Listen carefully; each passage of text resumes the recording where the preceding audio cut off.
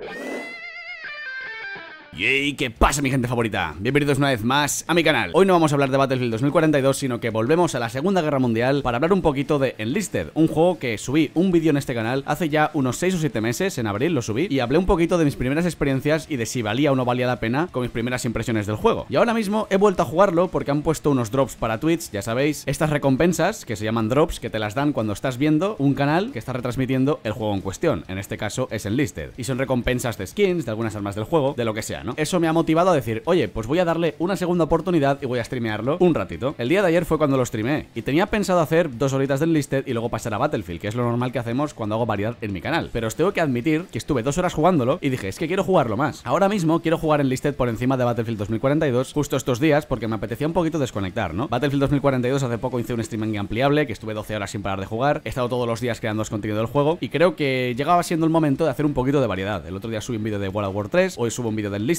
y bueno, poco a poco para ir metiendo otros shooters que sean diferentes. De aquí poco voy a tener otro stream otra vez sponsorizado de Halo Infinite. Y bueno, más o menos ya os dije que quería ir metiendo un poco más de variedad en el canal de Twitch como en el de YouTube. Entonces, ahora mismo quiero hablaros un poquito de las correcciones y rectificaciones que voy a decir acerca de Enlisted, porque en su momento critiqué bastante su jugabilidad, pero el día de hoy vengo a deciros unas cuantas cosas que os pueden interesar y si todavía no habéis probado el juego, de verdad que lo recomiendo al 100%. Y ahora os voy a decir el porqué. Empezando por los gráficos y por el apartado del rendimiento, este juego es una delicia. Yo la primera vez que jugué al juego no me puse a medir los FPS ni nada por el estilo, simplemente jugué. Y ayer me dio la curiosidad y dije, hostia, voy a ver a cuánto funciona este juego, porque evidentemente se ve muy bien los gráficos, cumplen a la perfección. Encima, el sonido de las armas es súper realista, quiero decir. Yo cuando jugaba a Call of Duty 1, a los primeros Medal of Honors, esos juegos intentaban también ser bastante realistas en cuanto al sonido se refiere, pero claro, estamos hablando de juegos del 2003, de hace mucho tiempo, ¿no? Pero tenían mucho cariño y mucho cuidado para hacer el sonido de las armas. Y os tengo que decir que Enlisted en este punto también cumple muy, pero que muy bien. Sobre todo los rifles de cerrojo se sienten extremadamente guays cuando disparáis y cuando acertáis el tiro y matáis a gente es muy satisfactorio. Pero como os iba diciendo, en el tema del rendimiento, yo ayer lo puse, yo juego a 2K y me lo puse todo al ultra. Y gente, iba a 150, 200 FPS, que dices, joder, para estos gráficos y la cantidad de jugadores que hay en cada partida, que son unos 40, 50 jugadores, estamos hablando de un juego que está muy bien pulido en rendimiento y que además, que tengas muchos FPS y unos gráficos realmente a la altura del 2021, estamos hablando de una muy buena opción y que además es free to play. Es totalmente gratis jugar a este juego. Por lo tanto, si sois gente que os gusta la Segunda Guerra Mundial y simplemente echaros unos tiros, vais a flipar con este juego en este aspecto. Va a cumplir absolutamente en sonido, en gráficos y en experiencia de la Segunda Guerra Mundial, porque además todos los mapas que he jugado de este juego están todos realizados muy muy bien, tiene muchas coberturas para poder realizar flanqueos, cosa que en Battlefield 2042, por ejemplo, falta bastante, así que en ese aspecto de verdad que no os va a decepcionar lo más mínimo. Luego, en el primer vídeo que hice también mencionaba un poquito los bugs que tenía, ¿no? El juego, que decía, no, es que para cobrarle a la gente estos bundles tan caros de 40 euros y 60 euros es un poco malo, ¿no? Porque, claro, si tu juego tiene bugs y estás cobrándole a la gente 40 60 pavos, pero bueno, lo que ha pasado con 2042 también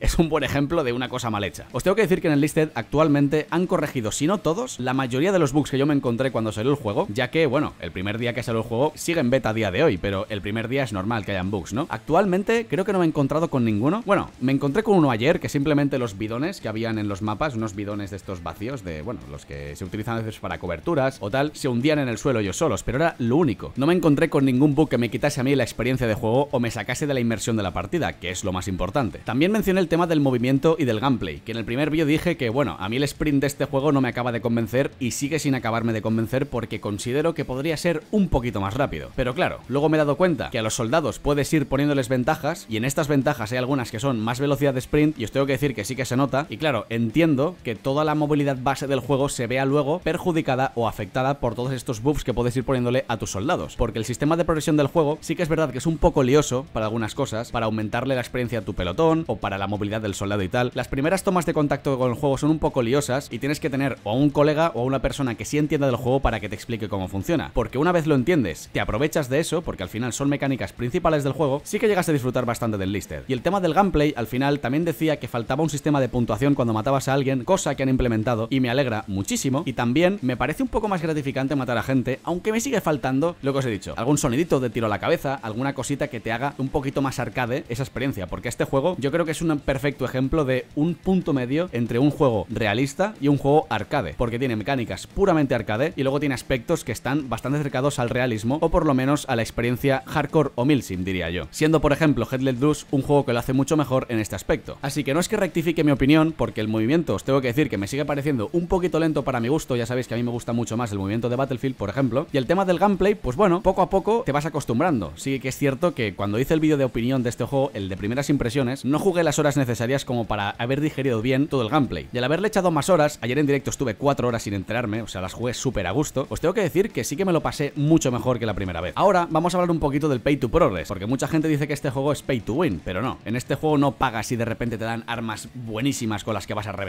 Os tengo que decir que las armas del juego, las primeras que te dan, que son los rifles de cerrojo por excelencia y algún subfusil que otro, ya os digo yo que con esas armas vais a reventar. Si tenéis buena puntería, los rifles de cerrojo son lo mejor que he jugado en muchísimo tiempo en un shooter, son súper gratificantes cuando metes un tiro, matas de un tiro a la cabeza, muchas veces de un tiro al pecho, y la verdad que se sienten súper bien. Y si os gusta la Segunda Guerra Mundial, este tipo de armas, vais a flipar, de verdad. O sea, se, se disfrutan un huevazo, gente. Otro punto a favor que tiene Enlisted es el tema de la multiplataforma, porque sí, muchos estaréis preguntando ahora viendo este vídeo, que igual no habéis escuchado nunca hablar de Enlisted, diréis, hostia, me que es multiplataforma, ¿se puede jugar con colegas de cualquier consola? Sí, tanto para PlayStation como para Xbox como para PC, podéis jugar todos juntos sin ningún problema. Me gustaría mucho que los que sois de consola me digáis en la caja de comentarios cómo funciona el aim assist de este juego, porque como ya sabéis, suele ser un tema muy polémico y que genera bastante controversia cuando sale un nuevo shooter que tiene multiplataforma. Si el aim assist está a la altura para poder combatir la gente de consola a los de PC. Así que os animo que los que seáis de consola me dejéis por lo menos un mensajito diciendo, Meque, el aim assist funciona bien o no funciona bien. Decídmelo, por favor. Otro punto a favor que tiene el Listed es que las balas entran muy bien. Quiero decir, yo por ahora no me he encontrado con ninguna fumada de balas, ninguna desincronización tan bestia como las que ocurren en Battlefield con el netcode. No sé, yo noto que cuando tienes un gunfight con otro jugador, el que dispara antes o el que da la bala es el que gana. Y esto, como ya os he dicho en muchísimos vídeos, es una cosa muy importante y que tiene que funcionar bien en un shooter competitivo. Aunque en este caso en Listed no es un shooter competitivo. Pero por lo menos tienes que notar que si tú disparas antes, lo matas antes al tío. No como en Battlefield, que hay muchas veces que ocurre lo contrario. Como ya hemos comprobado en algunas situaciones. Y todo esto, queréis que no, me hace mucha gracia porque cuando hice el primer vídeo del Listed comparaba muchísimo a Battlefield con el Listed y decía que Battlefield tenía las cosas mucho mejor hechas que en Listed porque es evidente que en ese momento yo estaba hablando de Battlefield 5, un juego que ya había llegado ya al endgame y que muchísimos bugs que había salido al principio los habían corregido y que bueno, el juego en general estaba mejor pulido porque en Listed os recuerdo que todavía sigue en fase beta, pero actualmente sí que os diría que en Listed está totalmente a la altura de los shooters de hoy en día, sobre todo de los shooters bélicos que buscan una experiencia, como ya os he dicho, mezcla entre arcade y una experiencia más hardcore. Yo creo que Enlisted ahora mismo es la mejor opción que tenéis si queréis jugar a cualquier juego de este tipo. Muchos de vosotros estoy seguro que vais a ir a la caja de comentarios y me decís, no, me que Headless Loose es mejor y tal, pero como ya os he dicho, creo que comparar Enlisted con Headless Loose sería un error porque Headless Loose creo que busca muchísimo más esa experiencia hardcore o esa experiencia más milsim, ¿no? Yo creo que sería mejor idea, con muchísimo más sentido, comparar Enlisted con World War 3. World War 3 ahora mismo está en beta cerrada, en un acceso anticipado, el cual para jugarlo ya sabéis que tenéis que pagar 13 euros, pero acabará siendo free to play. Y os tengo que decir que si World War 3, cuando llegue marzo y sea free to play, tenga la misma calidad gráfica, de rendimiento, de sonido, de gameplay que tiene Enlisted, y sí que os diría que serían unos juegos muy muy parecidos, porque World War 3, como ya sabéis, también apuesta por un gameplay arcade, pero también tiene ciertos toques de estos juegos con experiencia un poco más hardcore o milsim. Y ya que hemos mencionado World War 3 y lo estamos comparando con Enlisted, una cosa que hacen muy bien los dos, y que esto ya lo sabéis los que visteis el vídeo que he subido World War 3, es el tema del diseño de los mapas. De verdad, gente, insisto muchísimo en esto, los mapas en Enlisted están muy bien. Representan a la perfección cada experiencia bélica que estás viendo en ese momento, como el desembarco de Normandía. Os lo digo en serio, el desembarco de Normandía está hecho increíble. Tanto el desembarco de la playa como cuando vas avanzando por las montañas, que subes por las trincheras, por las casas, es increíble, gente, os lo digo en serio. Han sacado ahora mismo una campaña nueva en Túnez, también tiene muy buena pinta. Ayer no la jugué y creo que hoy voy a volver a hacer streaming del Enlisted porque de verdad que me está dando muchas ganas de volver a jugar. Así que nada, para la conclusión de este vídeo es deciros que, bueno, he rectificado un poquito eh, respecto al vídeo que subí hace tiempo Listed, hace ya unos 6-7 meses cuando salió, y le di una nota de 6,5-7. Y yo creo que en Listed, para ser lo que es actualmente y ofrecer lo que ofrece, yo creo que en vez de un 6,5-7, yo le pondría ya directamente un 8, incluso un 9, si el sistema de progresión del juego estuviese un poco más definido y no tuvieses que desbloquear las armas en un nivel tan avanzado. Porque la única pega que yo le encuentro actualmente a Enlisted, aparte de la movilidad o del gameplay, que eso la verdad es que es bastante subjetivo, porque hay muchos de vosotros que os gusta mucho, la pega, como ya os digo, sería este sistema de pay to progress, ¿no? Que ya no que lo quiten, no No, no, yo creo que la solución a todo esto sería poder desbloquear todas estas armas emblemáticas como la Thompson, como la Sten, como la M1 Garand, como la Bar, poder desbloquearlas con unas 20 horas de juego más o menos, no con 100 o 200 horas de juego, porque yo conozco a gente que vino ayer a mi chat de Twitch, gente muy maja por cierto, que me dijo, que a mí me gusta muchísimo el juego, tengo ya 150 horas de juego, pero lo que pasa es que pese a las horas que llevo jugadas, no he podido todavía desbloquear armas que realmente quiero yo, y que joder, son armas emblemáticas de la Segunda Guerra Mundial y que cuando juegas en Listed, que es un juego que realmente te ofrece una muy buena experiencia de esta guerra, no puedas jugar con las armas que a ti te gustan, que tengas que recogerlas del suelo o lo que sea. Entonces yo creo que si en el Listed arreglasen ese tema, poder desbloquear esas armas un poquito antes, yo creo que sería un juego de 9, casi de 10, porque de verdad que es muy divertido si buscáis simplemente una buena experiencia de guerra bélica, de la Segunda Guerra Mundial, y poder estar echando el rato con unos buenos sonidos de armas, con unas buenas sonidos de explosiones, buenos gráficos, con disfrute, buenos mapas, rendimiento increíble, de verdad me sorprendió muchísimo el rendimiento de este juego, incluso la latencia de renderizado estaba súper bien, no sé gente, de verdad, en general este juego he cambiado un poquito de opinión y no le pondría 6 y medio 7, actualmente está mucho más pulido y le pondría el 8, incluso el 9 con lo que os he dicho. Si quitan el tema de las armas, desbloquearlas tan tarde y ponerse un poco antes, estaría mucho mejor. Así que nada gente, espero que os haya gustado mucho este vídeo, la verdad es que me apetecía mucho hacerlo porque ayer me di cuenta de todas las cosas en las que ha mejorado en Listed y creo que realmente podría llegar a ser el shooter de referencia de la Segunda Guerra Mundial que tenemos ahora mismo. Así que nada, espero que te haya gustado el vídeo, deja un comentario diciendo qué te parece el juego o si piensas que ha evolucionado para mejor o para peor. Estaré encantado de lo que me ponéis y contestaros porque ya sabéis que me encanta compartir opiniones respecto a los shooters, es una cosa que me encanta. Así que eso, espero que tengáis un muy buen día, unas felices fiestas que queda poquito ya y chao chao.